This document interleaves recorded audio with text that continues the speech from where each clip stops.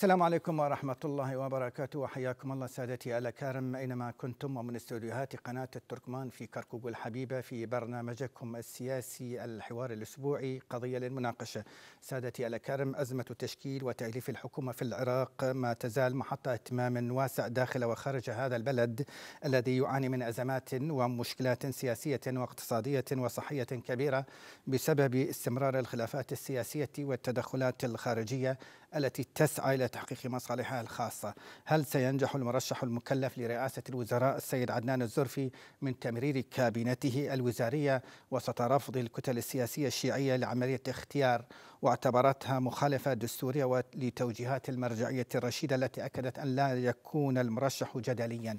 سادتي الأكارم اسمحوا لي أن أرحب بضيفي الأستاذ محمد سمعان أغا المتحدث باسم الجبهة التركمانية العراقية. حياكم الله أستاذ محمد.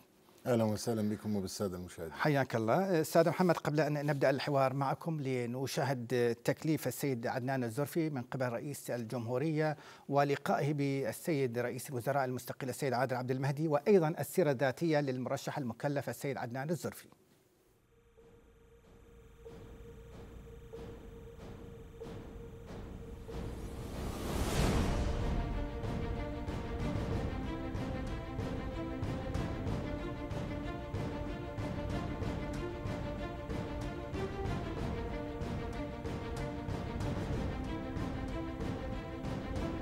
واجب هذه الحكومة الأساسي سيكون تنظيم الانتخابات المبكرة النزيهة والتي تعطي للشعب العراقي الحرية الكاملة في تقليد مستقبله. ولا شك أن البلد يتعرض إلى أزمات وتحديات خطيرة من الأزمة الصحية الأزمة المالية وغيرها تحديات جسيمة مسؤولية كبيرة ستلقى على عاتقك. أتمنى عليك أن تعمل جاهدا من أجل توحيد الكلمة. أتمنى عليك الموفقية في تشكيل حكومة قادرة مقتدرة لخدمة الشعب العراقي وإنهاء المعاناة التي يعانونها في هذه الأيام العصيبة. ونتجاوز الأزمة وصولا إلى الانتخابات النزيهة المنشودة للعراقيين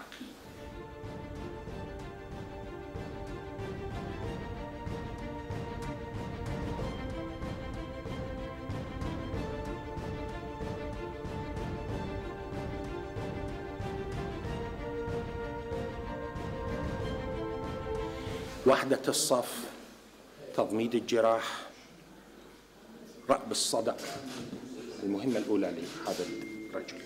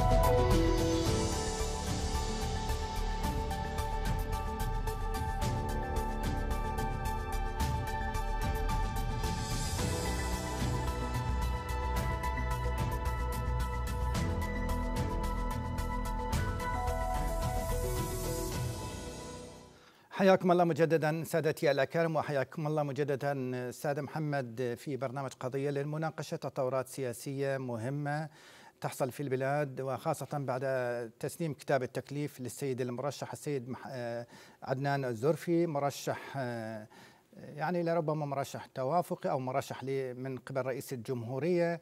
أنتم كتركمان كيف ترون آه، تكليف السيد عدنان الزرفي؟ باعتباره هو نائب وأيضا رئيس كتلة النصر النيابية. أنتم كتركمان أصدرتم بيان كجبهة تركمانية لتأييد ترشيح السيد عدنان الزرفي لهذا المنصب. وسبق أن أيدتم أيضا سلفه السيد محمد توفيق علاوي وكان لكم منصب وزاري ممثل للتركمان السيد حسن عزمان ولكن في هذه المرحلة الحرجة كيف ترون تقرؤون هذه العملية السياسية؟ وهذه العملية تعيش في مخاض عسير وبعد تجاربات ورفض الكتل السياسية الكبيرة الشيعية لهذا الاختيار. نعم شكرا جزيلا لقناتكم الموقرة والسادة المشاهدين. آه، كما تعلمون الدولة العراقية منذ آه، عدة أشهر تمر بمرحلة حساسة وحرجة لا سيما وخرج عشرات الآلاف حتى وصلت إلى تظاهرات مليونية في بعض المحافظات وعلى رأسها العاصمة العراقية بغداد. منذ الأول من أكتوبر الماضي نعم, نعم تظاهرات آه، طالبت بالإصلاح وضرورة تغيير النمط السياسي في العراق ضرورة تقديم الخدمات للمواطن العراقي. كانت هذه التظاهرات تتحدث عن عديد من المطالب على المستوى الاقتصادي والسياسي وعلى المستوى الاجتماعي وأيضا الاقتصادي، لكن اليوم آه، حينما أصدرت الجبهة التركمانية العراقية آه، بيان ترحيب وليس تأييد ترحيب لخطوه السيد برهم صالح رئيس الجمهورية العراقي بتكليف السيد عدنان الزرفي تشكيل الحكومة العراقية الجديدة. جاءت منطلقا. يعني عذرا للمقاطعة أستاذ محمد يعني هل لك أن توضح للسادة المشاهدين الفرق والتمييز اللي أشرت عليه أنت؟ يعني, يعني لربما يعني هناك التفسيرات نعم. يعني المشاهد يفسر يعني تفسيرات متعددة.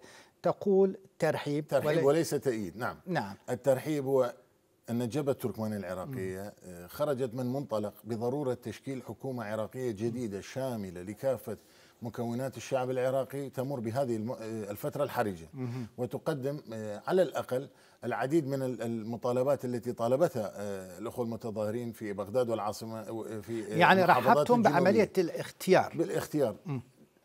قد لاحظ المشاهد الكريم بأن عدد كبير من المرشحين قد تم رفضهم إما من المتظاهرين أو تارة من قبل الأحزاب السياسية وعلى رأسها الأحزاب الإسلامية في بغداد. طبعا هذه المسألة آه، دخلت إلى مرحلة آه، نشاهدها آه، السيد رئيس الجمهورية يكلف شخص والشخص خلال 30 يوم يقوم بتكوين كابينة الوزارية. ثم هذه الكابينة الوزارية لأسباب على رأسها الخلاف السياسي بين الكتل السياسية في البرلمان العراقي لن لا يتم المصادقة عليها. وهذه السيناريو بدأت تتكرر ووصل المرحلة بأن الشارع العراقي يشعر اليوم بالإشمئزاز. آه، يشعر بالملل ويشعر بأنه آه، على القادة السياسيين وقادة الكتل في آه، بغداد بوضع يدهم تحت الحجر وبضرورة أن يقبلوا بأي مرشح كان يستطيع أن يخرج العراق من هذه المرحلة الحرجة.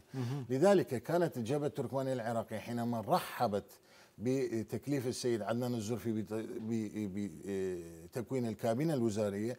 هي مسألة آه، اعتيادية لا سيما نحن نريد أن يتم تأسيس آه، حكومة جديدة. هذه الحكومة تضم آه، ممثلين لكافه المكونات الشعب العراقي تعمل خلال سنة بحل الكثير من المشاكل التي يعاني منها الشارع العراقي. تحقيق بعض المطالب للمتظاهرين الذين خرجوا لا سيما وشاهدنا خرجوا في الأشهر في كانت في فصل الصيف اليوم نحن في فصل الشتاء. آه، وهؤلاء المتظاهرين لا زالوا في ساحة الحبوبي وفي ساحة التحرير وفي ساحات أخرى. آه، لذلك من الأجدر لنا جميعا ككتل سياسية وكأحزاب سياسية أن نرحب بأي شخص كان يستطيع أن يدير العراق خلال هذه الفترة الراهنة. بعد هذه الفترة أو بعد مرور سنة من هذه الفترة أن يذهب العراق إلى انتخابات مبكرة آه، قد تصل أيضا إلى تغيير بعض بنود الدستور لأنه آه، هناك بنود في الدستور يجب أن تغير الأخاني آه، بعض البنود الدستورية اليوم هي سبب لما وصل العراق لما هو عليه الآن. أستاذ محمد يعني ترشيح السيد الزرفي تلقى أيضا ترحيبا من قبل ممثلة الأمم المتحدة السيدة بلاسخار نعم.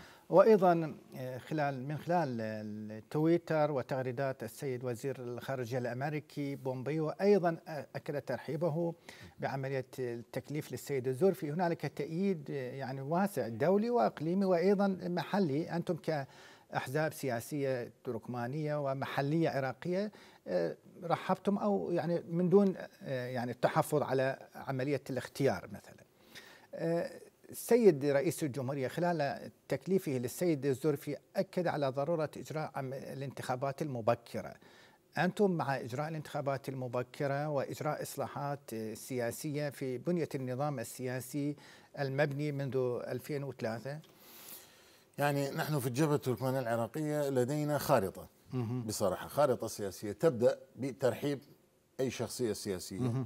آه، تستطيع تشكيل حكومة.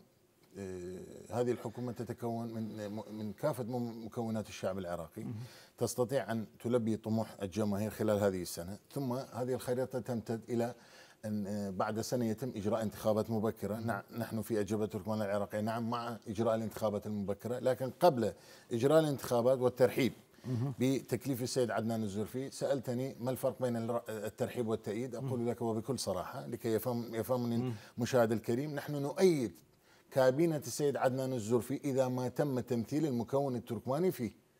إلى اليوم نحن نرحب بهذه التكليف لكن إذا ما لم ما لم يتم تكوين يعني هذه الكابينة كما قام السيد محمد توفيق علاوي أرجعتم تأييدكم له من خلال. بتمثيل شعبي طبعا. نعم. اليوم آه، حينما نشاهد الحكومات التي سبقت هذه حكومة السيد عادل عبد المهدي مع الأسف أغلبها لم تكن فيها ممثلين لمكونات الشعب التركماني باستثناء السيد نور المالكي الذي كان في كابينته آه، ثلاث وزراء إضافة إلى آه، مناصب أخرى أعطيت للمكون التركماني. بعد ذلك السيد العبادي لم يعطي أي كابينة وزارة للتركمان جاء السيد عادل عبد المهدي على نفس السياق.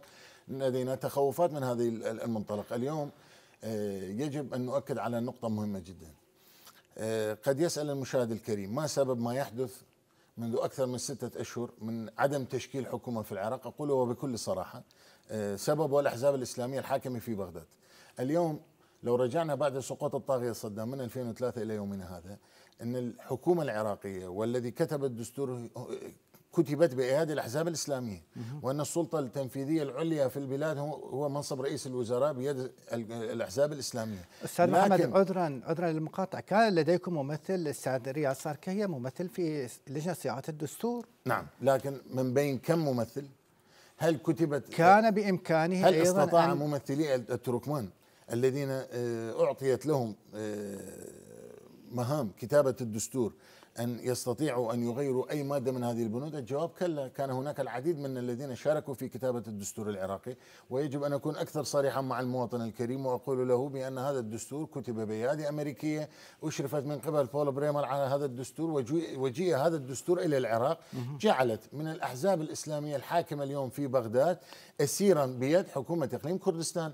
وفي آه، الحلقة الماضية أيضا مع جنابك الكريم تحدثت بهذه الأمور بأن هناك نقاط دستورية تجعل أو تقيض ال ال ال الأحزاب الإسلامية في بغداد أو باقي الأحزاب السنية والشيعية في بغداد من من من آه، الكثير من المهام. على على رأسها إذا ما تم تغيير الدستور العراقي فهناك مواد دستورية تتحدث بأن ضرورة أخذ موافقة آه، إقليم كردستان بأي إجراء تغيير في هذا الدستور.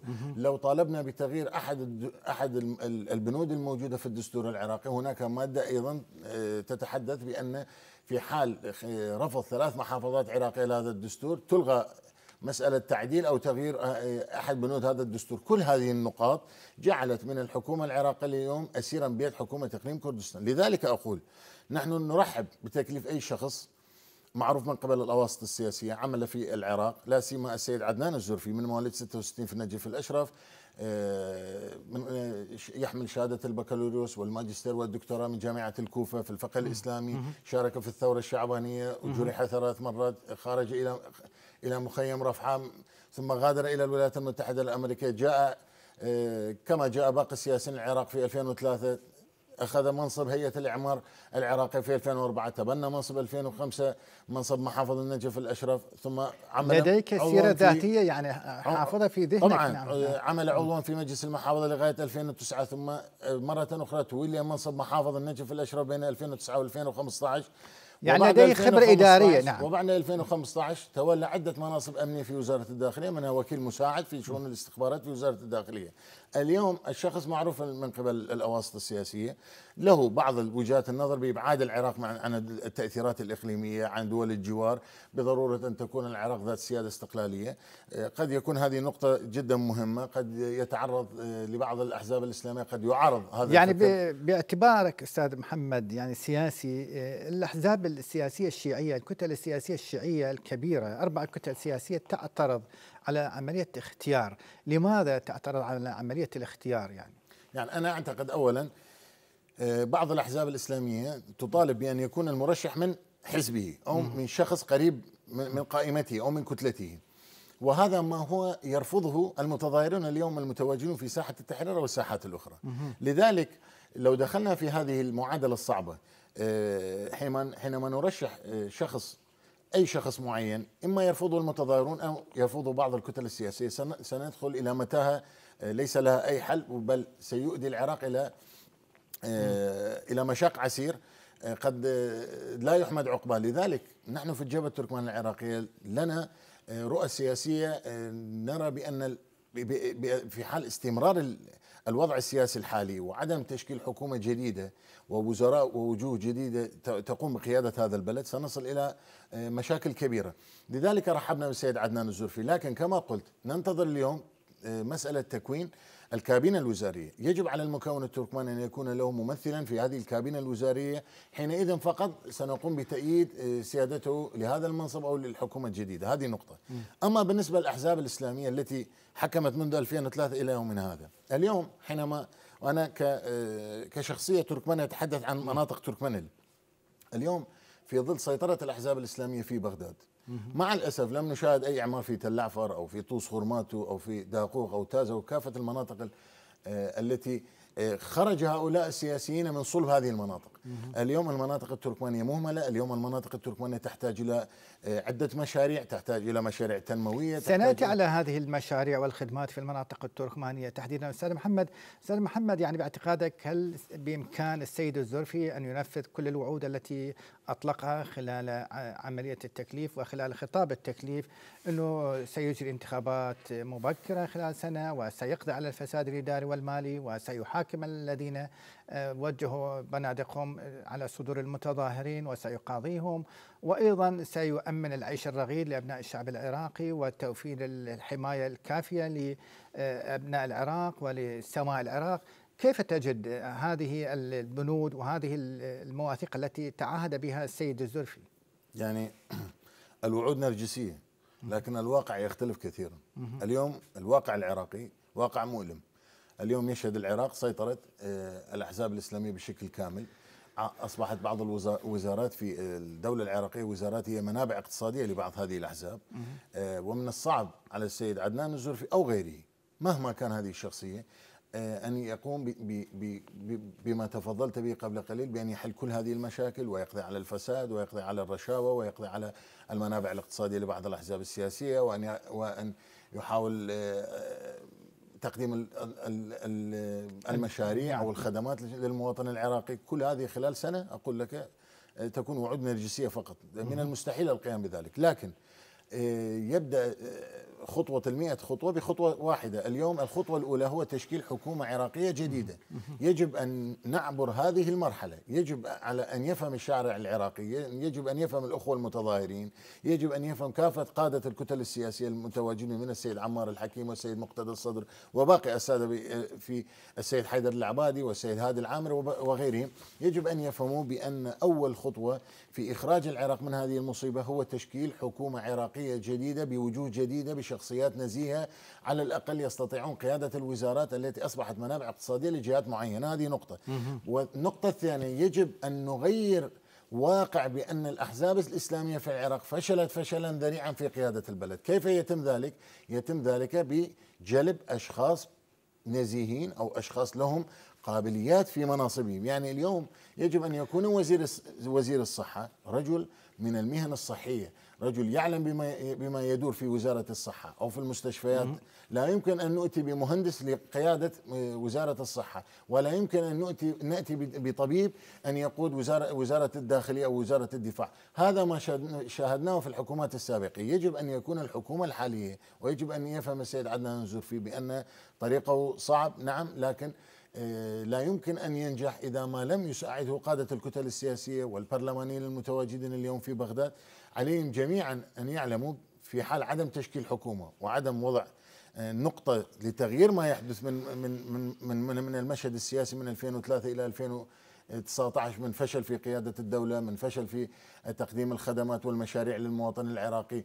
اليوم آه، حينما نشاهد فيروس كورونا ينتشر في كل أنحاء العراق نرى بأن وضع الصحي في العراق ووزارة الصحة ليست لها القابلية في التصدي لمثل هذا الفيروس الوباء الذي يتحدى العالم أيضا سنأتي على هذه المشكلة الصحية. أيضا أستاذ محمد أراك تنتقد الأحزاب الإسلامية وأيضا أيضا يعني الأحزاب الإسلامية الشيعية وناقم على الأحزاب الإسلامية الشيعية. شيعية كانت وهل وهل أنه الأحزاب القومية هل بإمكانها أن تجعل البلاد في جو يعني ربيعي مثلا؟ لا هي مسألة هي ليست مسألة أحزاب قومية. نعم. المسألة اليوم الدستور الذي كتب على يد بريمر سلمت لقادة الأحزاب الإسلامية في بغداد إن كانت سنية أو شيعية لنكون واقعيين. ولم يكن هناك حكومة تكنوقراطية أو حكومة بيروقراطية انتخبت من أشخاص نزيهين أو لهم آه، آه، خلفية أكاديمية قادرين على قيادة البلد. لا آه، الشارع العراقي اليوم يعلم كل ما يدور خلف الستار. هذه الأحزاب جاءت لغرض آه، قيادة البلد بعدما تحمل الشارع العراقي نظام دكتاتوري مجرم قاد البلد 35 سنة قدم الظلم لأبناء هذا الشعب بكافة مكوناته من السنة والشيعة والكرد والتركمان وباقي المكونات؟ كان يأمل بأن تأتي حكومة جديدة حكومة ديمقراطية يبني على أسس مفهوم الحقوق الإنسان يعطي حقوق ومم... يمثل كافة مكونات الشعب العراقي في هذه الحكومات يقوم بقيادة هذا البلد ليخرجه من هذه الأزمات التي يعاني منها لكن ماذا شاهدنا؟ شاهدنا بأن العراق رجع 50 إلى 100 سنة إلى الوراء اليوم آه، حتى السبل التعليمية آه، أصبحت حتى أهون من ما كانت عليه في وضع آه، في زمن الطاغية صدام الوضع الصحي كذلك الوضع الاجتماعي كذلك الوضع الإعماري كذلك الوضع الاقتصادي والتجاري والنفط في كل الوسائل رجعنا إلى 100 سنة إلى الوراء. آه، الحل هو ليست أحزاب قومية. نحن حينما ننتقد الأحزاب الإسلامية ننتقدها من واقع حال. اليوم مدينة طوس خرماتو تتعرض بين بين فترة وأخرى إلى هجمات إرهابية. اليوم طوس خرماتو تحتاج إلى مشاريع. أيضا في المحور أيضا أستاذ محمد. ولكن يعني الانتخابات المبكرة هل بإمكان حكومة السيد الزرفي إجراء الانتخابات المبكرة قبل إجراء عملية التعداد العام للسكان والمساكن قبل إجراء التعداد وأيضا الإحصاء وقبل أن تتم يعني عملية التسوية وحل الخلافات بين حكومة الإقليم وبين الحكومة الاتحادية في المناطق المختلطة والمتنازع عليها ضمن المادة 140 كيف ترى؟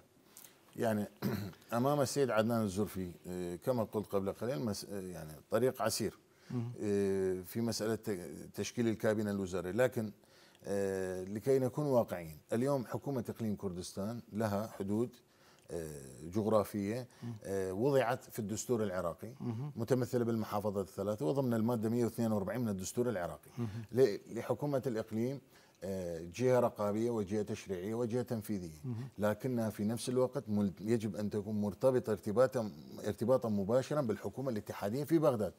لكن ما نراه اليوم حكومة الإقليم تتصرف وكأنها حكومة في حدة وهي شريكة في نفس الوقت في حكومة الاتحادية في بغداد.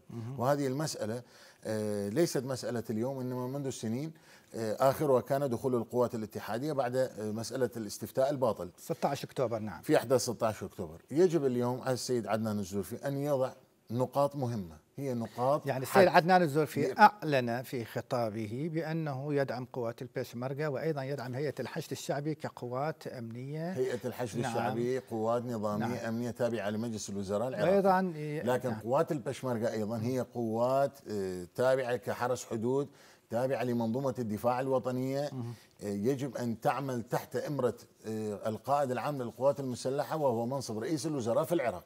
هذه النقط يجب أن يحددها السيد عدنان الزرفي من اليوم وأن يكون شفافا في تعامله وفي آه، مسألة آه، خصم بعض الطلبات التي سيقدمها الوفد الكردي وسنشاهده في الأيام المقبلة قد يكون هناك وفد كردي. الأطراف الكردية أيدت أيضا ورحبت بتكليف السيد الزرفي على على يعني خلاف ما كان مع توفيق علاوي. يعني آه، الترحيب ممكن. لكن يجب أن آه، لا نعلق من الآن قد يكون مبكرا. ننتظر السيد عدنان زرفي لنرى مواقفه. ماذا ستكون؟ هل هي مواقف وطنية؟ هل سيقوم بدعم الحكومة الاتحادية وتجعلها حكومة قوية أمام حكومة الإقليم؟ آه، كما قام السيد حيدر العبادي حينما جعل الموقف الحكومة الاتحادية في بغداد أقوى من الحكومة الاتحادية وهو المفروض أن يكون كذلك. جيء بالقوات الجيش العراقي والشرطة الاتحادية في هذه المناطق. يعتبر أيضا من ضمن التحالف السيد العبادي. نعم. لذلك السيد عدنان الزرفي كونه أيضا من كتلة النصر وهو من آه، أيضا من أحد آه، المقربين من السيد حيدر العبادي. نعتقد باذن الله تعالى سيكون موقف موقف مشابه للسيد حيدر العبادي. لكن في نفس الوقت اليوم هناك كتل أخرى في بغداد كتلة النصر أعربت عن ترحيبه. وأيضا السيد عمار الحكيم السيد مقتدى الصدر ترك الأمر للسيد رئيس الجمهورية بتكليف أي شخصية لتشكيل الحكومة الجديدة. هناك آه، اعتراضات من قبل قائمة الفتح. ومن قبل بعض الأحزاب السنية. الحكمة أيضا اعترضت المجلس الأعلى أيضا اعترضوا. يعني آه ليس الكل جزء نعم. منهم اعترضوا. آه سنرى في الأيام المقبلة دولة القانون أيضا دولة القانون طبعا نعم. دولة القانون له وجهة نظر آخر دولة القانون يبحث عن شخصية يكون تابعة لقائمة الفتح أو تابعة لحزب الدعوة الإسلامي حصرا. أستاذ محمد يعني الاحتجاجات اللي انطلقت منذ الأول من أكتوبر يعني أثمرت عنها إقرار قانوني الانتخابات البرلمانية وأيضا قانون الانتخابات مفوضية الانتخابات. أنتم راضون على قانوني الانتخابات والمفوضية؟ تم استبدال الأعضاء المفوضين السابقين الذين لديكم إشارات عليهم السابقين في العملية في عملية الانتخابات السابقة في 2018 أعتقد كانت هنالك يعني مؤشرات مؤشرات عليهم في الانتخابات التي جرت. وأيضا أنتم شهر كامل آه، اعتصمتم نعم. ولكن من دون أن تسر عن نتيجة مثلا. لا يعني الاعتصامات التركمانية التي شهدتها في مدينة كركوك خرج العشرات الآلاف من المواطنين التركمان عبروا عن رأيهم بشكل صريح جاءت بنتائج كبيرة منها كانت إبعاد كافة اعضاء مجلس المفوضين من مناصبهم آه، ومن ثم آه، تم إجراء تحقيق من قبل السيد رئيس الوزراء آنذاك السيد حيدر ولكن بعد إذن رجعوا يعني. بتشكيل لجنة من ديوان الرقابة المالية من دائرة المخابرات والأمن الوطني.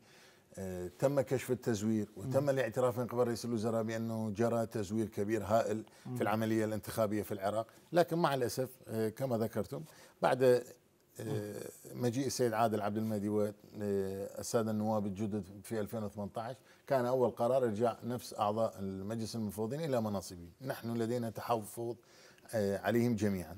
لأنهم جميعا كان لهم آه، دور آه، سلبي في مسألة التزوير. كان لهم كان عليهم مؤشرات خطيرة، كل ما يحدث اليوم كان السيد رئيس الجبهه التركمانيه العراقيه النائب ارشد الصالحي كلام في وقته حينما قال بأن كل ما يحدث بأن الانتخابات التي جاءت بالتزوير سيؤدي إلى فشل ذريع وفعلا تحقق الفشل الذريع ووصلنا إلى ما, ما, ما وصلنا إليه اليوم. آه، اليوم نحن راضون؟ لا لسنا راضون عن مجلس المفوضين لأن ليس لدينا ممثل في مجلس المفوضين. آه، ويجب على أن يكون هناك للتركمان ممثل كونه مكون أساسي من مكونات الشعب العراقي. مع الأسف لم نستطع أن نفهم قادة الكتل السياسية بضرورة تواجد المكون التركماني في كل مسائل الدولة. في مجلس المفوضين في ديوان الرقابة المالية في هيئة النزاهة في الكابينة الوزارية في في كافة المناصب التي تقود الدولة العراقية اليوم. هذه أحد السلبيات التي تحدثت عنها آه، حينما اتهمت بعض الأحزاب الإسلامية بأنها فشلت فشلا ذريعا في قيادة البلد، لم يستطيعوا تمثيل كافة مكونات الشعب العراقي، وهذه نقطة أساسية. اليوم المكون التركماني الذي قاتل تنظيم داعش الإرهابي وتنظيم القاعدة ودفع العديد من شبابه كضحايا في تل عفر وأمرلي وطوز وداقوق وتازا وبيشير وباقي المناطق وحتى داخل مدينة كركوك.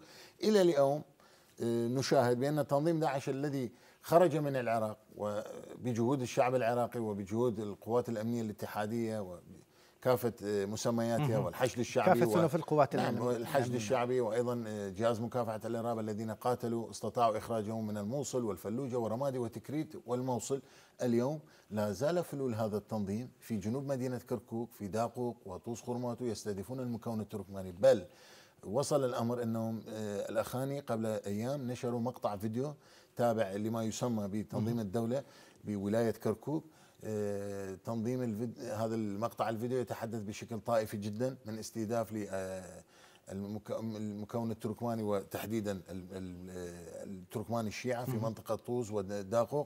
أنا أعتقد بأن المسألة ليست فقط تنظيم داعش وإنما هناك أطراف سياسية آه، كان لنا البارحة بيان صريح من الجبهة التركمانية العراقي بأن هناك أيادي تحاول آه، إضعاف الوضع الأمني المستقر في داقوق وتصخرمات هذه. أيضا سنأتي أستاذ محمد ولكن قبل أن يعني نريد أن نتحدث أكثر بعمق عن قانون الانتخابات، عن قانون هل أنتم راضون على قانون الانتخابات التي ستجرى الانتخابات لربما بعد عام الانتخابات المبكرة، قانون المناطقية مثلا الانتخابات ستجرى في اللقضية مثلا تابعة لكركوك، قضاء داقوق وقضاء الحويجة وقضاء دبس.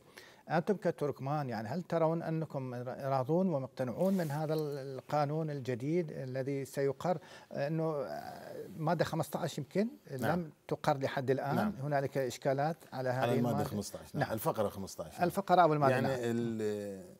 نحن لسنا راضون 100% على قانون الانتخابات لكن هذه القانون الانتخابات تم تفعيلها وتم التصويت عليها لذلك تقسيم المحافظات على نظام الأقضية آه، قد تكون سلبيا على المكون التركماني لا سيما على سبيل المثال اليوم ناحية ألتون كوبري تابعة لقضاء دبس.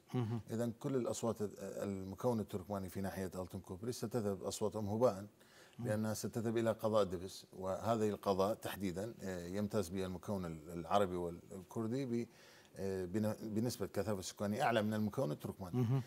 لذلك سيكون التركمان لهم دور في قضاء داقوق وقضاء مركز مدينة كركوك في الانتخابات. لذلك أنا أعتقد آه، وهي مسألة سابقة لأوانها لكن نحن آه، مع الدائرة الانتخابية للجبهة التركمانية العراقية ومع السادة المسؤولين في الجبهة لدينا اجتماعات مستمرة في هذه الخصوص.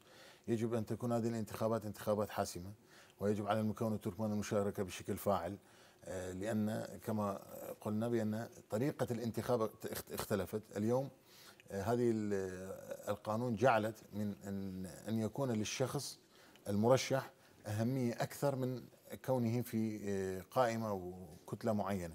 قبل كان القائمة هي الأساس والأشخاص المتواجدين في القائمة ليس لهم دور فاعل لديهم دور طبعا لكن ليس لديهم دور فاعل بقدر ما الاسم الرنان للقائمة. لكن اليوم الوضع اختلف حسب هذا القانون. الشخص هو الأهم.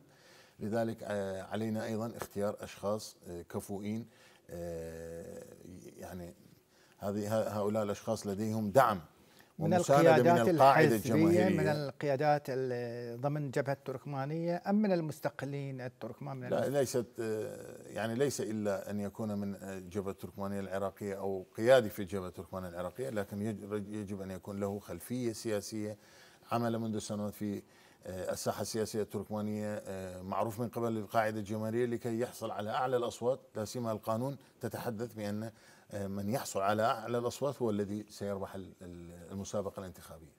نعم أستاذ محمد لنأتي إلى الملف الأمني في كركوك، آه، الملف الأمني في كركوك الحمد لله والمنة إنه بعد 16 أكتوبر كركوك تشهد استقرارا أمنيا لا نشهد خروقات أمنية في مركز المدينة هنالك خروقات حصلت في أطراف محافظة كركوك وخاصة في أطراف قضاء داقوق وأيضا في قرية إمام زين العابدين قبل عام من الآن. وحاليا يمكن البارحة أمس استهدف مركز قضاء دوس خرماتو بعدة قذائف هاون أو صواريخ نعم. سقطت إلى الأحياء المدنية أسفر عن هذا الاستهداف إصابة أطفال عدد من الأطفال وأيضا من النساء. يعني لماذا هذه الاستهدافات المتكررة يعني للمناطق التركمانية مثلا؟ هذه الاستقرار السياسي الأمني التي تشهده طوس خرماتو وداقوق وحتى مدينة كركوك بدأت تسيل لعاب الفاسدين والداعمين للتنظيمات الإرهابية. كما قلت قبل قليل أن ما يحدث في أطراف داقوق بين آونة وأخرى وما يحدث في طوس خرماتو أو في داخل كركوك وجنوب كركوك أعتقد آه، بأن هناك أطراف تحاول آه، أن آه، تربك الوضع الأمني أصدرتم بيانا أستاذ محمد يعني إلى ماذا أشرتم في هذا يعني البيان؟ نحن أشرنا بأن عدة نقاط. اولا ضرورة تشكيل قوة أمنية من أبناء مدينة توسخرمات ومن أبناء مدينة داقوق. آه، كما قلنا آه، المثل العربي الشهير أدروا مكة أه، أهل مكة أدرى بشعابها. يجب تشكيل قوة إضافية من من مدينة طوس خرمت ومدينة داقوق لحماية مناطقهم. هذه نقطة. النقطة الثانية يجب على السيد قائد العام للقوات المسلحة السيد رئيس الوزراء ووزارتي الدفاع والداخلية بأخذ قرار بتمشيط أطراف طوس خرماتو وأطراف داقوق وحتى جنوب مدينة كركوك وحوض الحمرين من فلول تنظيم داعش الإرهابي لوضع حد لهذه الهجمات التي تستهدف المكون التركماني. ثالثا آه، هناك أطراف سياسية تحاول بهذه الهجمات الإرهابية إبعاد المكون التركماني من مناطقهم. أنا أنا في وقتي كان لدي فكرة طرحتها. قلت آه، المهجرون التركمان الذين خرجوا من تل أحفر ومن أطراف مدينة طوسخرمات لماذا يبقون في مخيمات النازحين؟ آه، من الممكن شراء أراضي زراعية تابعة للمكون التركماني في أطراف داقوق وأطراف طوسخرمات وفي جنوب كركوك وبناء قرى لها قرى للعوائل التركماني وإسكانهم. هذا ما قام به الأحزاب السياسية الكردية. في آه، شمال تل عفر وأطراف سنجار والكثير من المناطق التي حاولوا منها التغيير الديموغرافي، نحن لسنا مع التغيير الديموغرافي لكن نحن لغرض حماية مناطقنا يجب إسكان العوائل التركمانية في الفراغ المتواجد بين طوز خورماتو وبين داقوق. آه، طرحت هذه الفكرة في وقتها لكن آه، كما قلت اليوم الحكومة العراقية ونرجع إليها مرة أخرى. وليست الحكومة الحالية. كل الحكومات المتعاقبة لم تقف مع المكون التركماني بشكل صريح. لا يوجد آه، أخاني لا يوجد قانون واحد أخرجه الحكومات العراقية في البرلمان لصالح الحكو... لصالح المكون التركماني. لا يوجد مشروع واحد آه، أصدرته الحكومة العراقية وقامت به الحكومة العراقية في أي منطقة من المناطق التركمانية سواء في تل أعفر أو في طوزة أو آمرلي أو غيرها من المناطق. لذلك نحن وصلنا إلى قناعة تامة. اليوم يجب أن, أن تكون الحكومة العراقية حكومة شاملة أن يكون فيها ضرورة أن يكون فيها مكون التركماني. في أحد القنوات الفضائية سألني أحد الإعلاميين لماذا يجب أن يكون آه، أن يكون لكم ممثلا في الحكومة العراقية؟ طيب لماذا يعني الكرد والشيعة والسنة وباقي المكونات الأساسية في العراق. لديهم ممثل في الكابينة ولديهم ممثل على مستوى الرئاسات الثلاثة وحينما يدار الكلمة على التركمان يقال لماذا لماذا تطلبون بهذا المطلب؟ هذا مطلب أساسي. اليوم التركمان المكون الأساسي الثالث في العراق. حتى أن منصب رئيس الجمهورية من الممكن أن تكون للتركمان. لماذا لا يكون للمكون التركماني؟ لماذا يكون فقط للمكون الكردي؟ لذلك أقول أخاري هل يوجد في الدستور العراقي قانون ينص بأن يكون رئيس الجمهورية للكرد ورئيس الوزراء للشيعة ورئيس البرلمان للسنة جواب كلا لا يوجد هذه المادة. نعم. إنها فقط محاصصة ما بين كتل معروفة تدار من قبل آه، هذه الأحزاب السياسية. لذلك يجب آه، من أن نبدأ التغيير بالخطوة الأولى بحكومة شاملة تمثل كافة مكونات الشعب العراقي وأن يكون التركمان أيضا بصمة في هذه الحكومة. نعم أستاذ محمد من خلال تواصلكم مع قضاء تسخر معته مع يعني فعاليات المجتمع المدني وأيضا إدارة قضاء تسخرماتو إلى ماذا توصلت الأحداث التحقيقات عن تلك الجريمة؟ يعني الجهات التي قامت بتلك الجريمة بقصف قضاء تسخرماتو يعني مع الأسف هذا الحدث الذي وقع باستهداف أحد الفواتح مجالس العزاء ذهب ضحيتها العديد من نساء التركمان وأطفال التركمان بعد ذلك تم تشكيل لجنة تحقيقية من قبل السيد رئيس الوزراء آنذاك.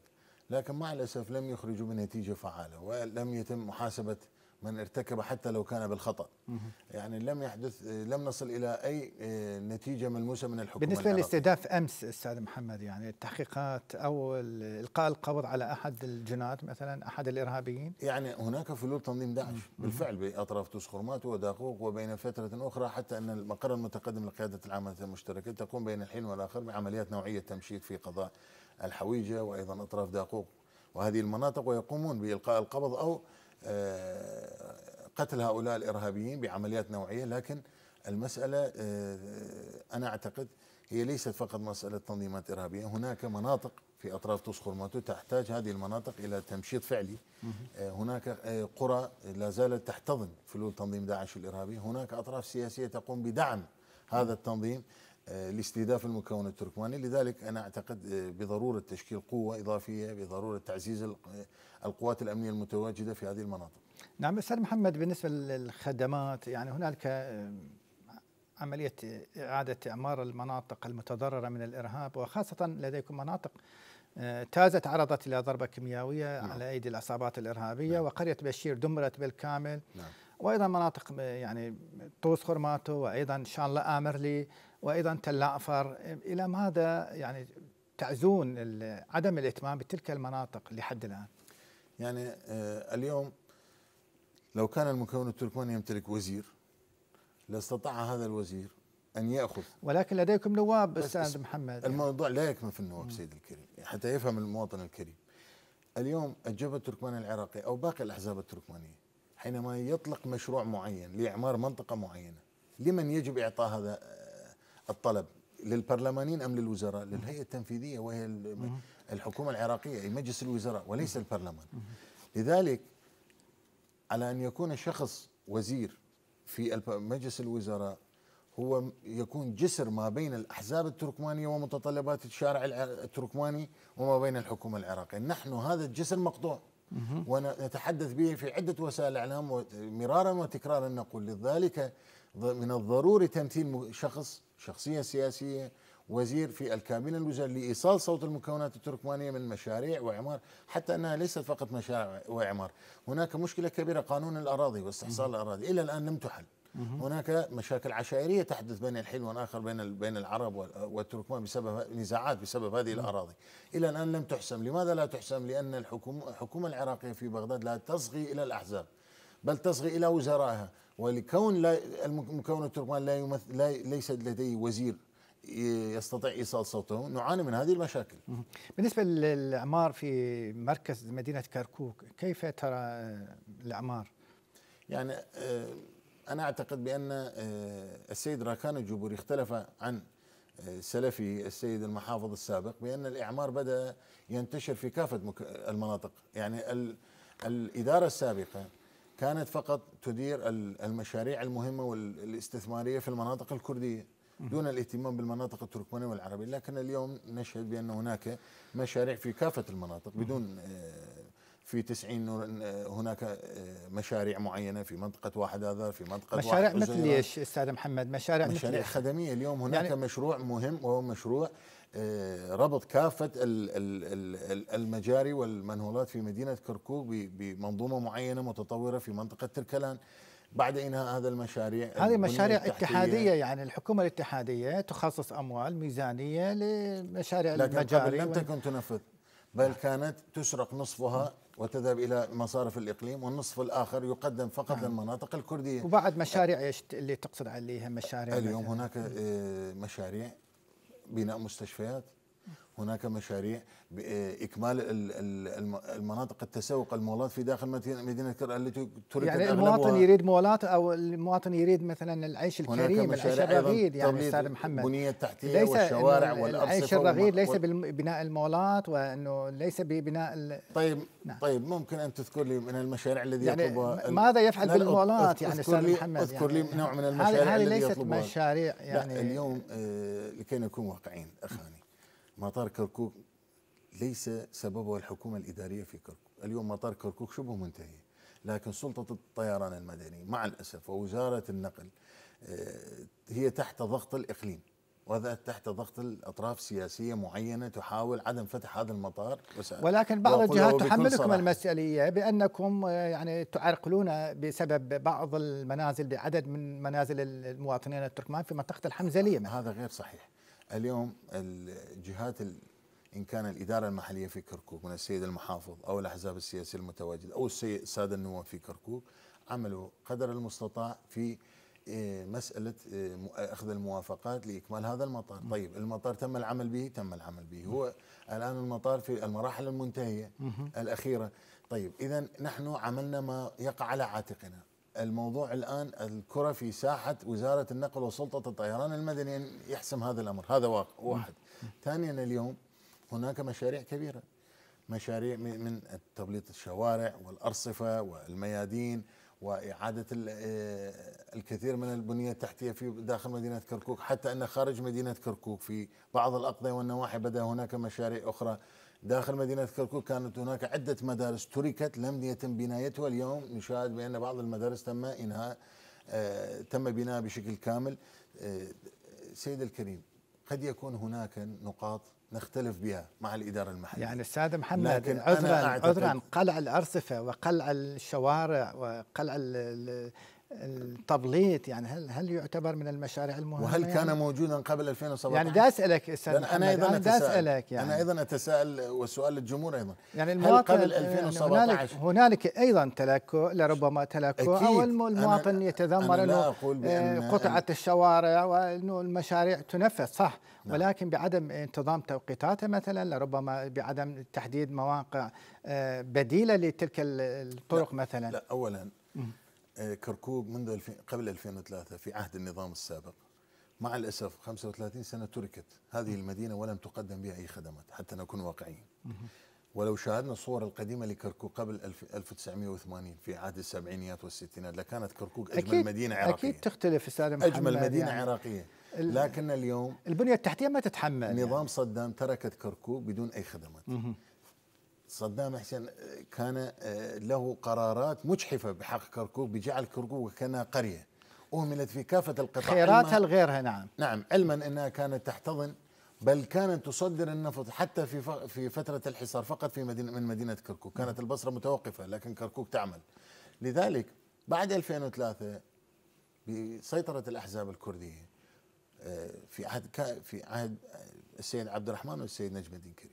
إلى 2017 هل تم قلع رصيف واحد من منطقة تركمانيه أو منطقة عربية؟ الجواب كلا. هل تم تبليط شارع واحد؟ الجواب كلا.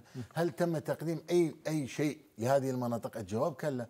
اذا نحن حينما نقول بأن الإدارة الحالية أفضل نحن لا نقول بأنها آه، 100% لا لكن حينما نقارنها بالإدارات السابقة نعم هي أفضل من الإدارات السابقة وهي الآن على الأقل لا تفرق بين المكونات هناك مشاريع في شوراو وهي مناطق تجاوز وبنيت في عهد الأحزاب السياسية الكردية والمناطق التركمانية هناك التابعة من- للتسعين الشهيدة لم لا فيها لم مشاريع أيضا أي في واحد. حزيران. أيضا في مشاريع في واحد آذار أيضا في مشاريع في الشوارع الخارجية بدأت ال- الآن العمل بها هناك العديد من المشاريع لست آه، يعني محاميا آه، أو أدافع عن الاداره المحلية لكن هذه قناعتي. لربما هناك أعتقد- أستاذ محمد. لا لا لا أبد أبد, لربما. أبد. لكن أنا أتحدث من باب الإنصاف. أنا أعتقد بأن الإدارة الحالية أفضل من سابقتها. نأتي إلى الجانب الصحي والجانب الأهم. يعني المعموره كلها تشهد وباء كوليرا وباء كورونا عفوا.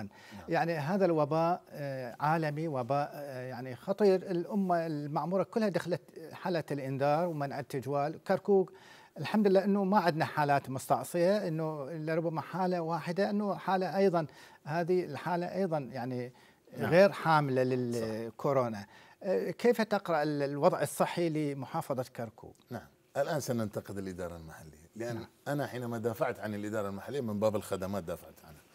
اليوم فيروس كورونا أصبح وباء عالميا حسب آه، آه، بيانات WHO منظمة الصحة العالمية. الإصدارات التي نتابعها بشكل يومي.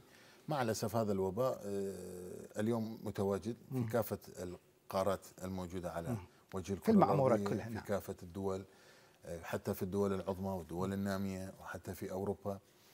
في العراق في مع الأسف لم يكن الحكومة العراقية آه، في البداية يعني لم تواجه هذا الفيروس بشكل جدي. تم يعني اليوم وزارة النقل تمتلك 16 طائرة نقل للمسافرين. كلها تذهب إلى الدول الموبوءة وكلها ترجع. المفروض تخصيص طائرات معينة يتم تعقيمها بعد أن يصل إلى مطار بغداد وبعد أن يوصل المسافرين يتم تطهيرها بشكل يومي. لكن كل الطائرات سافروا إلى دول موبوءة وغير موبوءة طبعا هذا إهمال جسيم. وزارة الصحة يقع عليه عاتق كبير لكن وزارة الصحة أيضا تقول بأنها لا تمتلك أموال كبيرة. كان السيد أرشد الصالحي اتصال مع السيد وزير الصحة طالب بتخصيص معين أيضا من الحكومة العراقية لمدينة كركوك طالب ب 500 مليون دينار عراقي آه، وافقوا على 384 مليون دينار وصلت قبل أيام إلى بغداد إلى كركوك. آه، هذه طبعا جهود للسيد النائب أرشد الصالحي. آه، مع ذلك اليوم الإدارة المحلية في مدينة كركوك أيضا لم تقم بأمور جدية يعني اليوم ونحن حاليا في استوديوهات قناة التركمان نعم.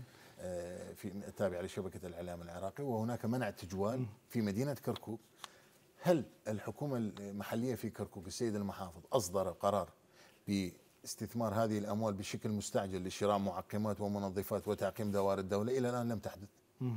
إلى الآن لم يتم تعقيم المناطق أو المجازر أو المناطق آه، الموجودة العامة في مدينة كركوك، لم يتم هذه الأمور.